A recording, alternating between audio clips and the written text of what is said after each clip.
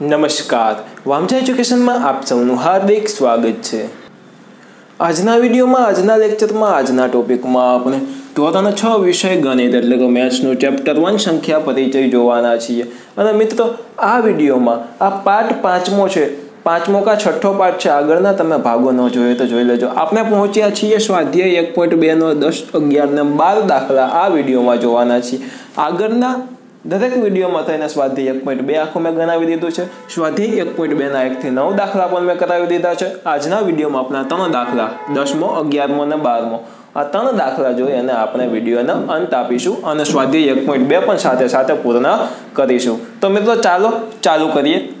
પરંતુ મિત્રો, જો તમે આ ચેનલને સબસ્ક્રાઇબ ન કરો સબસ્ક્રાઇબ કરીને બે લાઇકન દબાવી દો, વિડીયોને લાઇક કરો તથા તમારા મિત્રો સુધી પણ તમે શેર કરી શકો છો. હવે ચાલો આપણે જોઈ દસમો દાખલો. દવાઓ બોક્સમાં ભરેલી છે. વાત કરે છે મિત્રો આ દાખલામાં દવાઓની. દરેક બોક્સનું વજન ચાર કિલો ને પાંચસો ગ્રામ છે. દરેક બોક્સનું વજન એટલે કે એક બોક્સનું વજન એમ થયું. શું થયું? તો કે એક બોક્સનું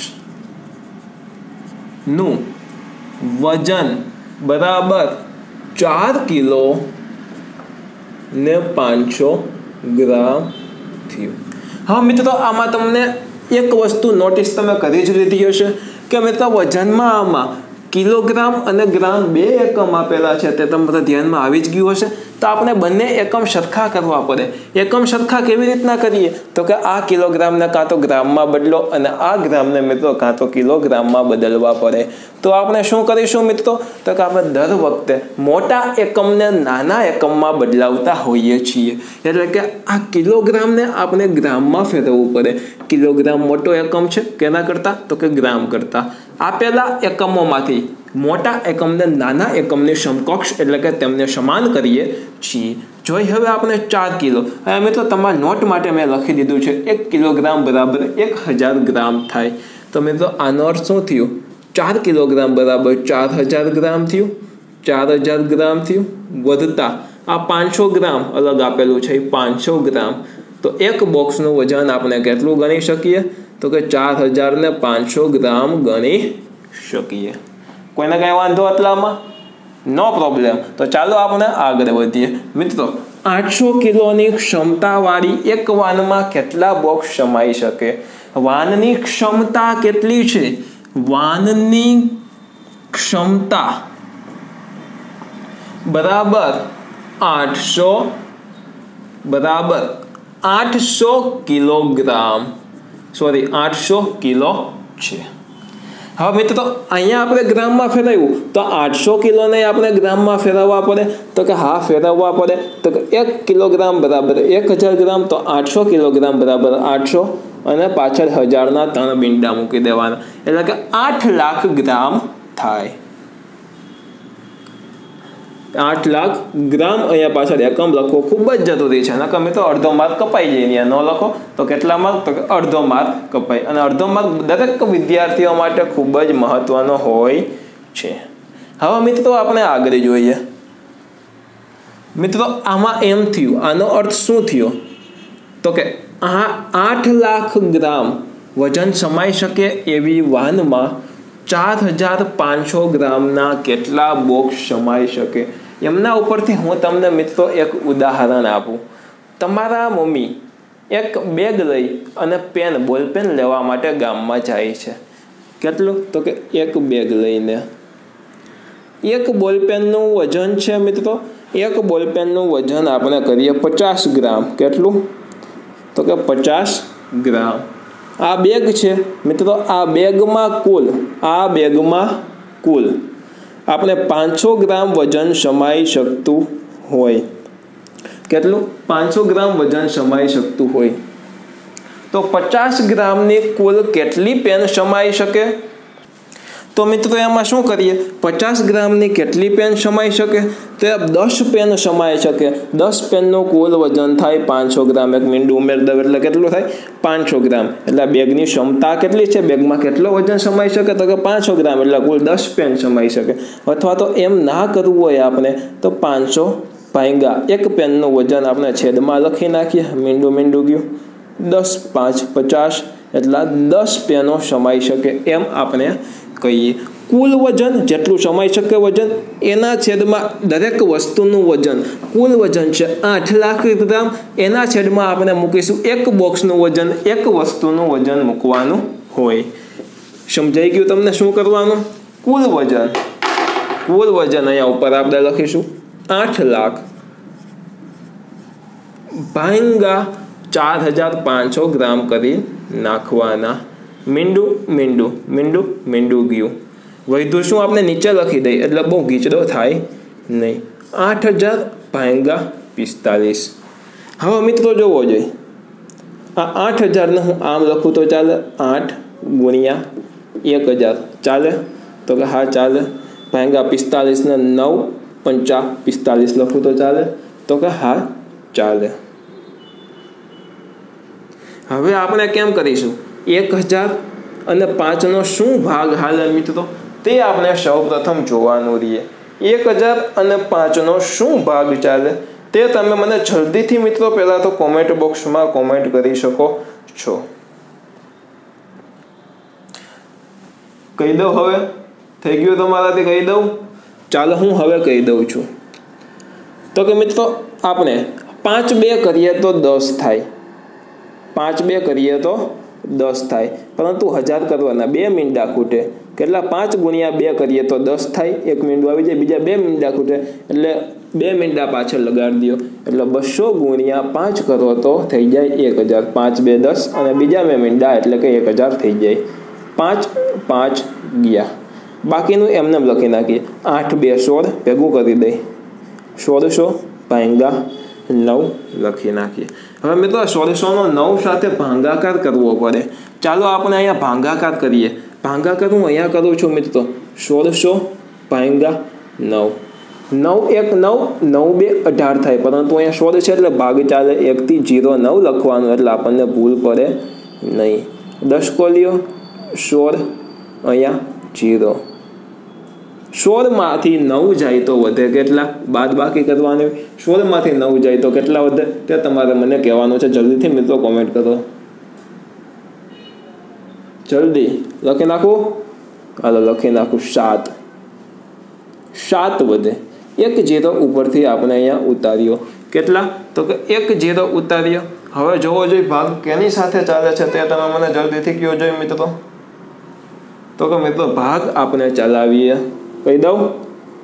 હાલો, કહી દઉં. નવ સાત ત્રેસાઠ. ચાલો વધે શું સિત્તેરમાંથી ત્રેસાઠ જાય સાત.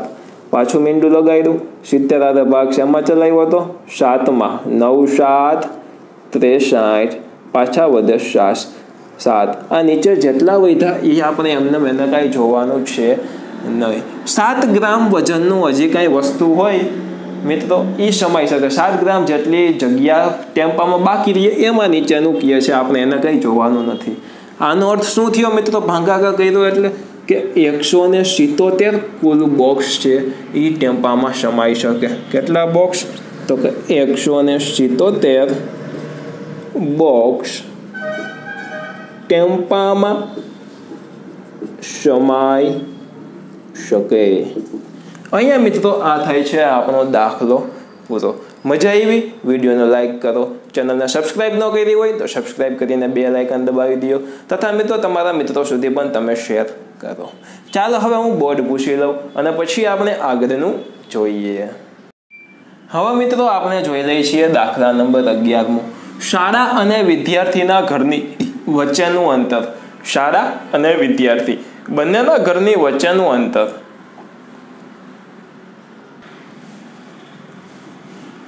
એક કિલોમીટર ને આઠસો ને પંચોતેર મીટર છે. કેટલું? તો કે શાળા. દાખલા તરીકે અહીંયા શાળા છે મિત્રો. શું છે? શાળા. અહીંયા વિદ્યાર્થીનું ઘર છે. વિદ્યાર્થીનું ઘર છે અહીંયા. આ બંનેની વચ્ચેનું અંતર મિત્રો. આ જે અંતર છે એ અહીંયા કહે છે એક કિમી. એક કિલોમીટર. આઠસો ને પંચોતેર. મીટર. આવી રીતનું આપણને કહે છે. એક કિલોમીટરના આઠસો પંચોતેર મીટર છે. રોજિંદા તે આવતા અને જતા બંને વખત ચાલે છે. આ વિદ્યાર્થીના ઘરેથી શાળાએ જાય અને પાછો રિટર્ન આવે. બંને વખત મિત્રો તે ચાલીને જાય છે. તો છ દિવસમાં તેના દ્વારા કેટલું અંતર આવરી શકાય મેં તો સૌ પ્રથમ આપણે આ દાખલામાં શું કરવાનું હોય? તો સૌ પ્રથમ આપણે તો એકમ ફેરવવો પડે. એકમ બંને એકમને સરખા કરવા પડે. કિલોમીટરને કાં તો મીટરમાં ફેરવું કાં તો મીટરને કિલોમીટરમાં ફેરવું. પરંતુ આપણે હંમેશા મોટા એકમને નાના એકમની સમકક્ષ કરીએ, નાના એકમમાં ફેરવી એટલે કિલોમીટર મોટો એકમ છે, મીટર નાનો એકમ છે. તો આમાં શું કરશું? આપણે કિલોમીટરને મીટરમાં ફેરવીએ. મિત્રો, અહીંયા મેં લખી દીધું છે, હિન્ટ માટે. તમે લખી અને નોટ કરી લો, એટલે તમને ભૂલાય નહીં, એટલે મેં લખી રાખ્યું છે. એક કિલોમીટર બરાબર એક હજાર મીટર થાય. કેટલું? તો કે એક કિલોમીટર બરાબર એક હજાર મીટર. તો આપણે કેવી રીતના લખી શકીએ? આ એક હજાર મીટર વધતા આઠસો ને પંચોતેર મીટર બંનેનું અંતર થાય. સાડા શાળાથી ઘર વચ્ચેનું અંતર થાય. બરાબર કેટલું થાય? એક હજાર આઠસો ને પંચોતેર મીટર અંતર થયું. એમ કહેવાય મિત્રો? તો કે હા, કહેવાય. હા મિત્રો, આ અંતર આપણે મેળવ્યું છે. એ તમે જોઈ શકો છો. આ શાળા અને ઘર વચ્ચેનું અંતર છે. પરંતુ આમાં એક મેઇન વસ્તુ કે છે, દરેક વિદ્યાર્થીઓ એમાં ભૂલ કરતા હોય ઝાઝા ભાગના વિદ્યાર્થીઓ કે વંતર એમાં એમ કહે છે કે આવતા અને જતા બંને વખત ચાલે છે. એટલે મિત્રો શું? ઘરેથી શાળાએ ગયો શાળાએથી પાછા ઘરે વિદ્યાર્થી ગયો. બંને વખત ચાલે. એટલે એને અંતર ખાલી એક હજાર આઠસો ને પંચોતેર મીટર અંતર નથી કાપ્યું. પરંતુ જવાનું એક હજાર આઠસો પંચોતેર મીટર અને પાછું આવવાનું પણ એક હજાર આઠસો ને પંચોતેર મીટર તેમને વિદ્યાર્થીએ કાપેલું છે. એટલે આપણે બંને વખતનું અંતર ગણવું પડે. આ અંતર ગણવા માટે આપણે કેવી રીતના કરીશું મિત્રો? તો કે સૌ પ્રથમ આપણે મિત્રો આમનો બે સાથે ગુણાકાર કરી દઈ. જવાનું એટલું એક હજાર આઠસો પંચોતેર મિત્રો આ શું છે? જવાનું એક હજાર આઠસો ને પંચોતેર વધતા કરી દે. ચાલો સરવાળો કરી દે, વધતા. પાછું શાળાથી ઘર સુધીનું એક હજાર આઠસો ને પંચોતેરથી. આ શું થયું? ઘરથી શાળાનું અંતર. આ શું થયું? શાળાથી પાછું ઘરનું અંતર. કુલ અંતર આપણને મળી જાય. તો કે હા, મળી જાય. પાંચ વત્તા પાંચ કરો, દસનો જીરો વળી પડી એક. સાત બે ચૌદ ને એક, પંદરનો પાંચડો વધી પડી એક આઠ બે સોળ ને એક, સત્તરનો સાતડો વધી પડી એક એક, બે અને ત્રણ. કુલ અંતર મિત્રો આપણને મળી ગયું ત્રણ હજાર સાતસો ને પચાસ. કેટલું? તો કે કુલ અંતર. હવે રકમમાં પાછા જાય. છ દિવસમાં તેના દ્વારા આવરી લેવાતો કુલ અંતર શોધો. આ મિત્રો એક દિવસનું અંતર થયું. હવે છ દિવસનું અંતર જોતું હોય તો? તો કે છ દિવસ.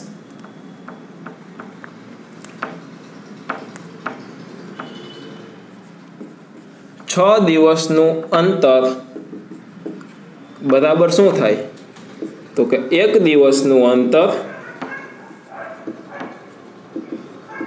વધતા છ. છ વખત છ દિવસનું વધતા નહીં, સોરી, ગુણ્યા છ. એક દિવસનું અંતર ગુણ્યા છ થાય. તો કે હા થાય. એક દિવસમાં આટલું અંતર કાપે, તો છ દિવસમાં કેટલું અંતર આ કાપે? તો કે એક દિવસનું અંતર ગુણ્યા છ. એટલે આ જે કુલ અંતર છે, એને આપણે છ સાથે ગુણી દઈ. એને આપણે છ સાથે ગુણી દઈ. તો આપણને છ દિવસનું અંતર મળી જાય. તો કે હા, મળી જાય. છ ગુણ્યા જીરો કરો જીરો. છ પાંત્રીસનો જીરો વધી ત્રણ. છ સાત બેતાલીસ. તેતાલીસ ચુમ્માલીસ ને પિસ્તાલીસનો પાંચડો વધી પડી ચાર. છ ત્રણ અઢાર. ઓગણીસ, વીસ, એકવીસ ને બાવીસ. મિત્રો આ આપણને છ દિવસનું અંતર કેટલું? છ દિવસનું અંતર મળી ગયું. આપણને કેટલા દિવસનું? તો કે છ દિવસનું અંતર, મિત્રો મળી ગયું. અહીંયા આપણો આ દાખલો પૂરો થાય છે. હવે, મિત્રો, આને આપણે કિલોમીટર અને મીટરમાં પાછું ફેરવવું હોય તો? હવા એકમમાં ફેરવવું હોય તો? તો આને હું આમ લખી શકું? બાવીસ હજાર વધતા પાંચસો. આ એકમ કેમાં આવ્યું? તો કે મિત્રો, મીટરમાં આવે. શેમાં આવે? મીટરમાં આવ્યું. તો મિત્રો, આના હું આમ લખી તો શકું? બાવીસ હજાર વત્તા પાંચસો મીટર. લખાય કે ન લખાય મિત્રો? તમે જ કયો જોઈ? મીટર. હવે મિત્રો, બાવીસ બાવીસ હજાર મીટર જોઈ લ્યો અહીંયા. એક કિલોમીટર બરાબર એક હજાર મીટર છે. તો બાવીસ હજાર મીટર બરાબર બાવીસ કિલોમીટર થયા. તો કે હા તો આને હું આમ લખી શકું? બાવીસ કિલોમીટર વધ, બાવીસ કિલોમીટર અને પાંચસો મીટર અંતર થાય. આમ આખું લખી શકું? તો કે હા, લખી શકો. તમે બાવીસ હજાર પાંચસો મીટર પણ જવાબમાં લખી શકો અને બાવીસ કિલોમીટરને પાંચસો મીટર પણ લખી શકો. જો તમે કોમ્પિટિટિવ એક્ઝામની તૈયારી કરતા હોય, તો એમાં નીચે ઓપ્શન આપેલા હોય. તો એ ઓપ્શનમાં વૈકલ્પિક પ્રશ્નો હોય, એમાં ઓપ્શન આપેલા ઓપ્શનમાં જોવાનું કે મીટરમાં છે ઓપ્શન કે કિલોમીટરમાં અને મીટર બંનેનું ભેગું ઓપ્શન છે, તેમાં ઓપ્શન પ્રમાણે આપણે જવાબ લેવો પડતો હોઈએ છીએ. હવે મિત્રો આપણે દાખલા નંબર બારમો જોઈએ. અને મિત્રો પૂછતા પૂછતા હું તમને થોડીક વાત કરું. મિત્રો આ ચેનલમાં આવી જ ટાઈપના વીડિયો મૂકવામાં આવે છે. એજ્યુકેશનને લગતા આપ સૌ માટે ખૂબ જ હેલ્પફુલ વીડિયો તે રહે છે. તો મિત્રો, તમે આ ચેનલને સબસ્ક્રાઈબ ન કરીએ તો સબસ્ક્રાઈબ કરીને જરૂરથી બે લાઇકન તમે દબાવી શકો છો. હવે ચાલો આપણે બારમો પ્રશ્ન જોઈ લઈએ. તો કે એક પાત્રમાં ચાર લીટર અને પાંચસો મિલીગ્રામ દહીં છે. કેટલું? તો કે એક પાત્રમાં ચાર લીટર અને પાંચસો મિલીગ્રામ. પાંચસો મિલીગ્રામ દહીં છે. તેમાં પચીસ મિલીગ્રામ ક્ષમતાવાળા કેટલા કપ ભરાઈ શકે? કેટલી ક્ષમતા? તો કે પચીસ મિલીગ્રામ ક્ષમતાવાળા. કેટલા? તો કે એક પાત્ર છે. પાત્રની ક્ષમતા કેટલી છે? તો કે પચીસ મિલીગ્રામ. હવે મિત્રો એકમ બે છે, તો કે હા, લીટર અને મિલીગ્રામ મિલીગ્રામ. આવી રીતના કુલ આપણી પાસે બે એકમ છે. તો આપણે શું કરીએ? તો કે મોટા એકમને આપણે નાના એકમની સમકક્ષ કરીએ, એટલે કે નાના એકમમાં ફેરવીએ. તો આમાં નાના એકમમાં ફેરવવા માટે આપણે શું કરીશું? તો કે નાનો એકમ કયો છે? તો કે લીટર. એ મોટો એકમ છે અને મિલીગ્રામ એ નાનો એકમ છે. તો મિત્રો, આપણે નાના એકમમાં ફેરવવા માટે લીટરને મિલીગ્રામમાં ફેરવવું પડે. તો કે હા, ફેરવવું પડે. હવે જોઈએ આપણે મિલીગ્રામમાં ફેરવવા માટે શું કરીશું? તો કે એક લીટર બરાબર એક હજાર મિલીગ્રામ. તો મિત્રો, અહીંયા શું આવે?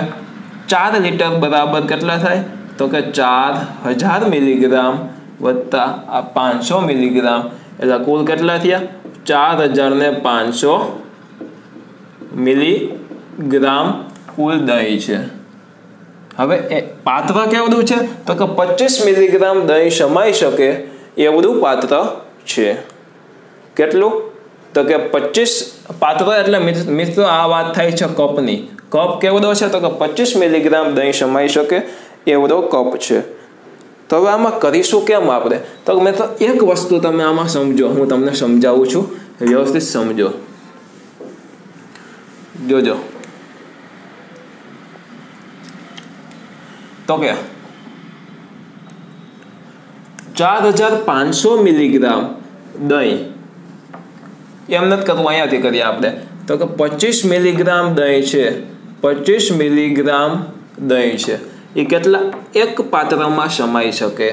તો આવી રીતના આમાં લખી શકે, ચારસો ને ચાર હજાર પાંચસો મિલીગ્રામ દહીં છે.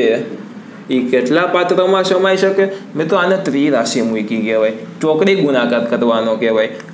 એકમની નીચે એક જ એકમ આવવો જોઈએ. અહીંયા કપ છે, તો અહીંયા કપ જ આવવા જોઈએ. અહીંયા શું છે? એક કપ ભરાઈ શકે કપની નીચે કપ અને આ જે લીટર મિલીગ્રામ લખેલું છે, મિલીગ્રામ નીચે મિલીગ્રામ. આ શું છે? દહીં. દહીં. દહીંનું માપ છે એટલે દહીંની નીચે દહીં અને કપની નીચે કપ આવવા જોઈએ. આવી રીતના ત્રિરાશિ મૂકીને ચોકડી ગુણાકાર કરતા આવડવો જોઈએ. આ જે પ્રશ્નાર્થ ચોકડી ગુણાકાર કેમ થાય? ચોકડી આમ થાય. આવી રીતના આમ ચોકડી કરો. હવે મિત્રો આ પ્રશ્નાર્થ ચિહ્ન સાથે જે આ ચોકડીમાં પ્રશ્નાર્થ ચિહ્ન સાથે જે વસ્તુ આવે એ છેદમાં આવે અને બાકીના બે એકમો અંશમાં આવે. અંશ એટલે કે ઉપરનો છેદ એટલે કે નીચેનું. અંશમાં શું થયું તો કે ચાર હજાર પાંચસો ગુણ્યા એક એટલે કે ચાર હજાર પાંચસો જ થાય. છેદ એટલે શું થયું? આ છેદ થયું. આ ક્વેશ્ચન માર્ક એટલે કે પ્રશ્નાર્થ ચિહ્ન સાથે જે ચોકડીમાં આવે, ચોકડીમાં આની ચોકડીમાં એવું આ અને આની સાથે એવું આ ક્રોસ ગુણાકાર થયો. એટલે પચીસ, આ પચીસ છે આની સાથે એટલે પચીસ છેદમાં આવે.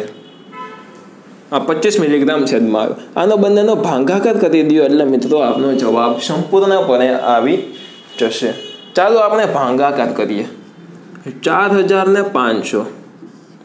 ભાંગા પચીસ લખ્યું હવે જોવો જોઈએ ભાગ કેમ ચાલે છે. પચીસ એક પચીસ પચીસ દુ પચાસ થાય એટલે પચીસ એક પચીસ સાથે જ ભાગ કરવાનો. માઇનસ કર્યા. પિસ્તાલીસમાંથી પચીસ જાય. પાંચમાંથી પાંચ જાય, જીરો. ચારમાંથી બે જાય તો વધે બે. હવે ઉપરથી એક જીરો નીચે ઉતાર્યો. હવે પચીસ ચોખ્ખું સો થાય, પરંતુ પચીસ આઠ બસો. એવી રીતના આપણે કરી શકીએ? તો કે હા, કરી શકીએ. એટલે અહીંયા જીરો જીરો જીરો આવી ગયા. પાછો આ જીરો અહીંયા નીચે ઉતાર્યો. તો મિત્રો, અહીંયા કંઈ ભાગ ચાલે નહીં, પરંતુ આ જીરો નીચે ઉતારો, તો અહીંયા પાછળ જીરો લખવો પડે. હવે આનો અર્થ શું થયો? એ તમે સમજો મિત્રો, કે આ પચીસ મિલીગ્રામ ક્ષમતાવાળા કુલ એક હજારને સોરી એકસો ને એંશી કપ ભરાઈ શકે. કેટલા? તો કે એકસો ને એંશી કપ ભરાઈ શકે. અહીંયા મિત્રો આપણો દાખલા નંબર બારમો પૂર્ણ થાય છે. આશા રાખું છું કે આપ સૌને આ વીડિયો ખૂબ જ હેલ્પફુલ થાય, મજા આવી છે તમે વિડીયોને લાઇક કરી દીધો હશે? ચેનલમાં નવા હોય અથવા તો ચેનલને સબસ્ક્રાઇબ ન કરે જરૂરથી સબસ્ક્રાઇબ પણ કરી દીધી હશે તથા બે લાઇકન પણ દબાવી દીધું હશે. અને મિત્રો, તમે વિડીયોને તમારા ફ્રેન્ડ સુધી શેર ન કરી હોય તો શેર પણ કરી દેજો. ફરી મળશું એક નવા વીડિયો સાથે. ફરી પતા જ ભાઈ જય હિન્દ, વંદે માતમ આવજો. ધન્યવાદ. કોમ્પિટિટિવ એક્ઝામને લગતા વીડિયો આવ્યા, તમે અન એકેડમી એપમાં પણ જોઈ શકો છો. અન એકેડમી એપમાં વીડિયો જોવા માટે આપ સૌ પ્રથમ પ્લે સ્ટોરમાંથી અન એકેડમી એપ ડાઉનલોડ કરો અને ત્યાં શિવમ વામજા સર્ચ કરો. આ તમામને લિંક મેં ડિસ્ક્રિપ્શનમાં પણ આપેલી